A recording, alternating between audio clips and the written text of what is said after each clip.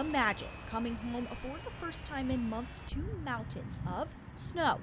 Well, this was the reality for over 100 Fort Drum soldiers returning from deployment after the blizzard. We departed uh, the Middle East around the 22nd of December, so um, obviously a lot of emotions when you have 157 people uh, that are redeploying and uh, expecting to be home for Christmas. After a canceled flight and spending Christmas in Colorado, the soldiers finally arrived at Fort Drum on the 26th. It was great getting off the bus and uh, being able to see my family, and I know the other soldiers felt the same way. Now that he's home, First Sergeant Griffith is still trying to dig out. I am replacing uh, my shovel that I broke yesterday, uh, trying to clean the snow from so I could get out my back door of my house. Across base, families are facing similar issues. We've been trapped for about a week.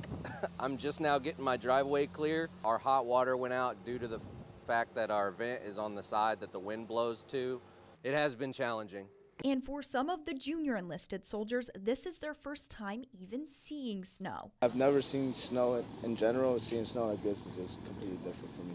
We actually got we arrived from Fort Benning before that that big storm. Then we, we went on leave and there was another big storm.